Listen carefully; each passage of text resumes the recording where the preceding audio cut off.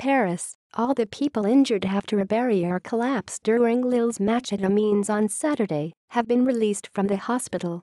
Amiens Hospital said that 29 people were injured in the collapse. All but six, five Lille fans and a steward, were able to go home overnight. On Sunday, Lille posted on their Twitter account, Great news!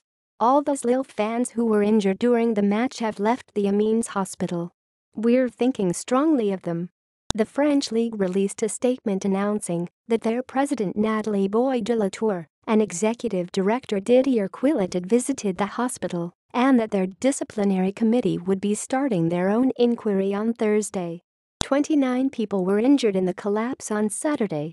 If Amiens are found responsible, they face a number of possible sanctions, a fine, playing a match with either part, or all of their stadium closed, or even a points penalty.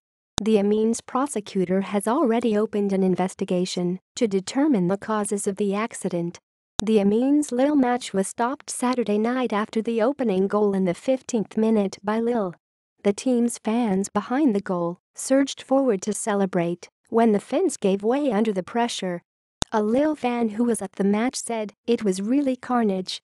Meanwhile, Amiens president Bernard Joanni said he called Lille CEO Marc Ingla to apologize after he appeared to blame the visiting supporters for the incident. Joanni said he was sorry to have been misinterpreted and to have been without a doubt insensitive.